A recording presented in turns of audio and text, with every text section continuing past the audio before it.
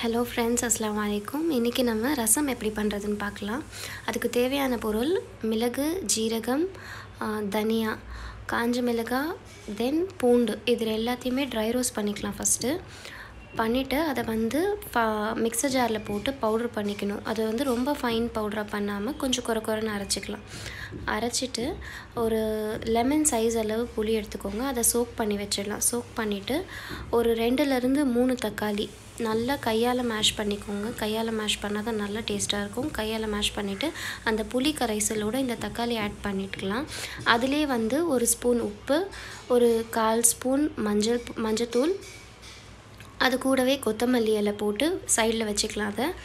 அதுக்கப்புறம் இன்னொரு கடாய் சூடு பண்ணிக்கோங்க. சூடு பண்ணிவிட்டு அதில் ஒரு ரெண்டு டீஸ்பூன் எண்ணெய் ஊற்றிக்கலாம் எண்ணெய் ஊற்றிட்டு எண்ணெய் சூடான பிறகு அதில் கடுகு கருவேப்பிலை காஞ்ச மிளகா போட்டு நல்லா வறுத்துக்கோங்க.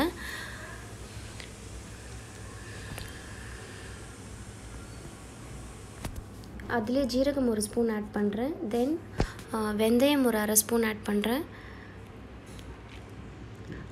அது நல்லா பொரிஞ்சு வந்ததும் இந்த நம்ம அரைச்சி வச்சுருக்கிற ப பவுடரை வந்து அதில் போட்டு வ வறுத்துக்கலாம் வதக்கிக்கலாம். தென் அதில் கொஞ்சோண்டு நம்மளுக்கு பெருங்காயத்தூள் ஆட் பண்ணிக்கலாம். இந்த நம்ம புளி கரைசல் வச்சுருக்கோம்ல அதை வந்து அந்த கடாயில் ஊற்றிட்டு கொதிக்க விடாமல் அந்த நுரை பொங்கி வரும்போது கரெக்டாக வந்து ஆஃப் பண்ணிடலாம். கூட கொஞ்சம் தண்ணி சேர்த்துக்கிறேன் எவ்வளோ தேவையோ. தென் அது கூட ஒரு ஹாஃப் டீஸ்பூன் மிளகாத்தூள் போடுறேன்.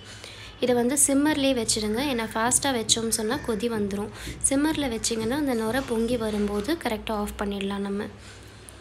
அண்ட் சால்ட்டெல்லாம் எப்படி இருக்குன்னு பார்த்துக்கோங்க. தேவைப்பட்டால் நீங்கள் போட்டுக்கலாம்.